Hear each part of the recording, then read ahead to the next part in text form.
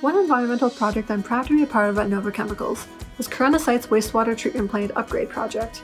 I'm proud to be a part of this project because it not only shows that Nova is committed to improving and replacing end-of-life equipment, it also shows that Nova is committed to reducing air emissions where possible, and is also committed to reducing the likelihood of an off-spec water event by improving the reliability of the system. Recently, at Joffre, we launched a program to compost all our kitchen waste. Food waste is a big issue and we can do a small part by composting at the site. The project I'm most proud to be part of was the Red Deer River Slope Erosion Project, where we armored over 100 meters of the river next to our intake pond. I had the opportunity to be part of design and construction.